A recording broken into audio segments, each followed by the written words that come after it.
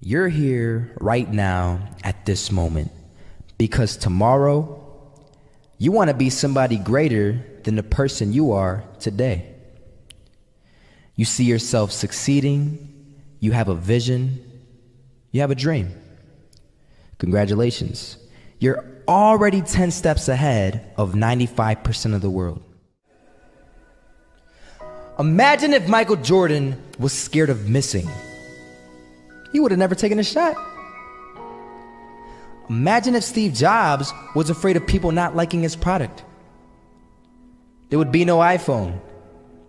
So ask yourself this Do you want to be a person who fears failure, or do you want to be a person who loves success? Which one? Because you're going to have to pick today. And I'll tell you one thing one is a failure, and one is a success.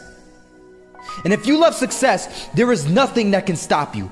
All those negative things people say will mean nothing. They're gonna talk about how only 1% make it to the top. Big deal. Wanna know something else? Only 1% stick with that fitness program long enough to see results. Only 1% of nerds stick with that video game long enough to get good at it only 1% of relationships stick it out to the end. That doesn't mean you have a 1% chance. It just means you can't behave like the 99%. You'll have to do something better than giving up a month from now. Those are just numbers. You want to talk about numbers?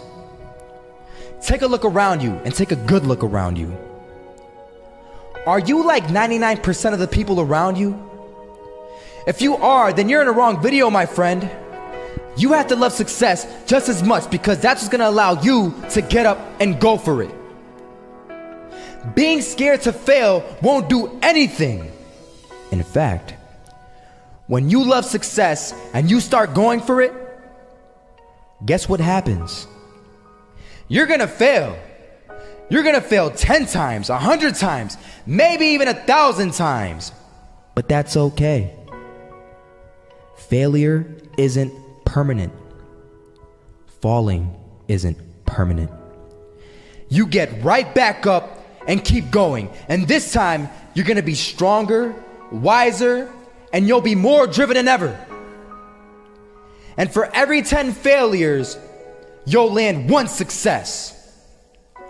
You have to love success so much that you're willing to fail 10 times before you can succeed once. That's how a winner does it.